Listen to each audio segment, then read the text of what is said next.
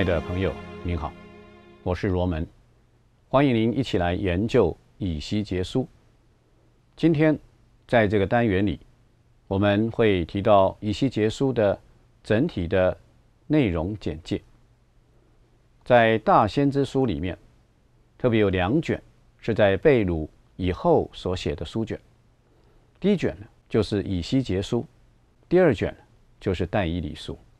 那么以西结书呢，是在前瞻圣殿将来的复兴；而但以理书呢，是在前瞻以色列在国度上的复兴。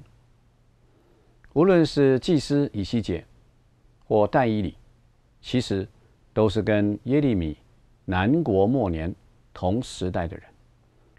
那么以西结呢，是在主前的五百九十二年，在约雅金王被掳。到巴比伦以后的第五年，蒙召做先知的。那个时候，按照以西结书的第一章第一节那里提到，他正好三十岁。以西结的名字在希伯来文的意思就是神的力量，神坚固。当然，以西结最主要的目的是写给那些被掳在巴比伦。可以说住在加巴鲁河边的那些的以色列人，所以我们说，基本上它有一个主题，就是神的审判和荣耀。以西结书的背景就是以被掳到巴比伦的这个早期的历史为基本的一个背景。那当时候是以色列最黑暗的时代，按照以西结书的时间点来讲，应该这一卷书。是完成于主前的五百七十年前后。那么以西结他出生于祭司的家庭，从一章三节可以看到，那个时代刚好是犹大王约西亚改革的一个年代。但是很可惜，就在以约西亚王后来因为个在这个哈米吉多顿，那叫米吉多的战役当中呢，结果被。埃及的法老王所杀了，那么约西亚王所带来的复兴运动就忽然之间就完全中断，因为圣经上告诉我们，在犹大末年以后的国王，再也没有一个兴起来像约西亚王那样行耶和华眼中所看为正的事了。因此，我们说，在二十五岁之前的以西结，他活在南国耶路撒冷那一带。主前的六百零六年是第一次被掳，五百九十七年是第二次被掳。那么第一次被掳的时候有但以理，那第二次被掳呢，他就跟着约雅金王，可以说出城投降巴比伦。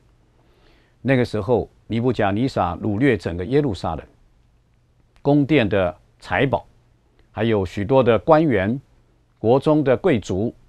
领导阶级都被掳到巴比伦去。当然，我们说，当一个祭司被掳到巴比伦去，他原来的工作是在圣殿，可是他一旦离开他的圣殿，可以说这种祭司的职务就必然要停止。当然，上帝呼召以西结成为一个先知，先知他要忠心的传讲上帝的话。之前有一位年轻人也被掳，就是刚才所提到的但以礼。那么但以礼的年龄跟以西结呢大致上差不多，只是但以礼第一次被掳，所以等到以西结第二次被掳的时候，可以说但以礼他的名声其实已经传开了，因为以西结被掳到那个地方，我们看到他一生忠心于上帝的侍奉。上帝使他在加巴鲁河边，在犹大人中间开始侍奉。加巴鲁它是一条运河，可以说是巴比伦北边幼发拉底河往东南流到尼泊尔这个地方的一条运河。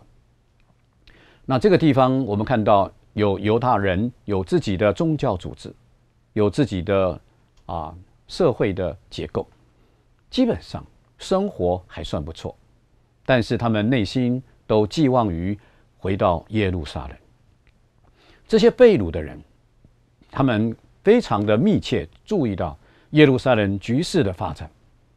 当时候我们提到，在主前的五百八十六年第三次被掳之前，是以啊是西底家王当政的时候，在那时候有许多的假先知，也说很多的预言，是提到这些被掳去的人很快就会回来。所以因此我们说，耶利米在南国末年，他是留在耶路撒冷来说预言、做先知的。而以西结当他被兴起来侍奉的时候，上帝也借着他传讲信息，有些信息也会传到耶路撒冷。因此，我们说这互相的辉映，当时候就是这种的光景。可是呢，因为有许多的假先知，所以信息非常的多而混乱。我们记得在耶利米书的二十九章提到，上帝要。耶利米写信给这些人说，要在那里落地生根，娶妻生子，盖造房屋，栽种农作物，长久居住在那个地方。那因此呢，以西结呢就在这种的光景之下了蒙召。所以我们可以看到，以西结他的信息非常清楚，谈到上帝的荣耀以及上帝的审判，特别是在第一章。当然。以西结书很特别的，就是里面有很多是用第一人称，用我来表达。那么我们可以看到呢，以西结呢，常常我们从经文里面可以看到，上帝称呼他为人子。所以我们可以看到，以西结书的第一章里面提到，他介绍他自己是在约雅金王被掳去的第五年，那么直到他发预言。可以说，至少二十五年以后，他发预言，就是在以西结书的四十章这里说：“我们被掳第二十五年，耶路撒冷城攻破后十四年，就在那一年，那么上帝的灵降在他的身上。因此，我们可以看到，从以西结的侍奉的开始，到他至少被掳二十五年前后，我们说。”有二十五年以上的时间，他是忠心的，在这一群被掳的人中间传讲上帝的话。那么，可以透过以西结书的二十九章十七节，也可以看到类似的时间观念。那么，在以西结书里面最常用的一个名词，希伯来文叫做“鲁啊”。鲁啊这个字可以翻译为“风”。特别在以西结书的第一章第四节就提到有狂风，十七章第十节有东风，好，还有五章十节的四方就是四方的风。那么这个“鲁啊”这个字，除了有风的意思，还有灵的意思，像耶和华的灵、圣灵也是“罗啊”。那另外还有生命气息的意思。最明显的就是在第三十七章以西结书。那你提到先知就发预言，要命令风吹入这个骸骨里面，给予气息。因此，我们说气息也是风，所以我们看到这一个气息、风、灵，在希伯来文都是同一个字。那么先知呢，蒙召的时候，那就是跟这个字是有关的，因为在第二章第二节就提到灵就进入到我的里面。也就是因着有上帝的灵，先知以西结被呼召，他才能够传讲上帝的信息。而上帝的信息一出来，就可以使人的生命能够有活力。所以，因此，上帝的灵、上帝的气息、上帝的话语，可以说是息息相关。不仅是让以西结有能力能够站起来传讲上帝的话。更是让他能够对那一群以色列人能够传讲那个有盼望的信息，使以色列人也能够再一次的复兴。因此，在经文当中也出现了一节非常多次的，至少六十五次的一句话。那句话叫做“他们”或者说“你们必知道我是神”，也就是先知的使命是要来传讲。上帝的话语，而使这些人知道，唯有上帝才是那一位独一的真神。因此，我们说，谈到以西结的最主要的一个使命和意向，就是要彰显上帝的荣耀，在这个被掳之地。虽然圣殿已经离他非常的遥远，可是上帝仍然在意象当中带领以西结回到圣地，甚至回到圣殿。在这种的启示之下，可以说上帝的荣耀一次一次的彰显在以西结的生命当中、眼前，甚至于让他的身体承受不住这种的荣耀，所以。上帝多次称呼他为人子，人子，人子的意思就是一个软弱的人，真的需要上帝的灵才能够站起来。所以，上帝的灵一次一次的降临在以西结的身上，然后扶持他站起来，让他能够去领受信息，让他能够代表上帝是去传讲信息，使他能够开口，他就能够开口。上帝使他所传讲的信息，许多用比喻的方式，用象征性的动作的方式，用许多的道具来传讲他的信息。我们可以看到这种的戏剧性的表达方式，让这些听的犹大人可以说印象一定非常的深刻。因此，我们说以西结在这一卷书里面所谈到的。就是他扮演一个非常重要的角色，就是守望者的角色。他要替上帝来做守望者，向那被盗的犹大人以及他周围的几个国家来宣判上帝的信息。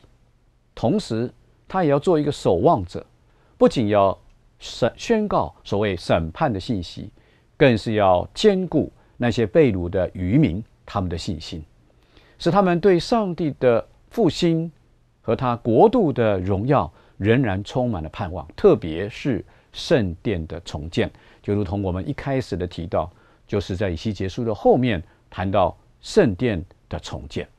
上帝因着以色列人的犯罪，已经依依不舍地离开了圣殿，从离开圣所、至圣所到圣所，从圣所的门槛又离开，然后又到了。朝东的那个东门那个地方，那么离开了东门，又来到了这个东边的橄榄山。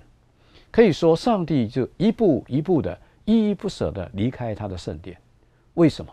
因为以色列人犯罪，圣殿已经不像圣殿，所以上帝再一次的能够在以西结书的后面，特别是在这一个啊三十三章。到四十八章的内容，谈到圣殿的重建。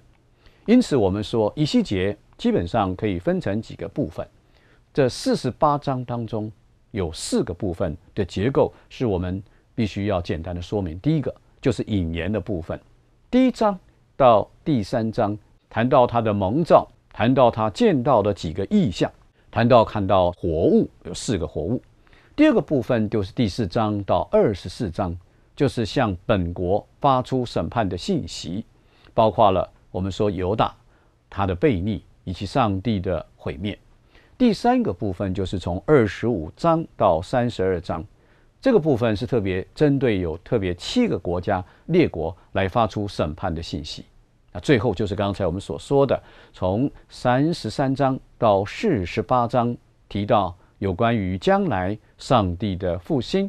特别是圣殿的重建，神荣耀的归回，因为我们说过，神荣耀已经依依不舍的离开，现在神的荣耀又再一次的回来。这是以西结给我们看到一个非常重要的一些信息跟概念。好，我们今天先谈到这个地方，下一次再继续的与您分享。上帝祝福您，再见。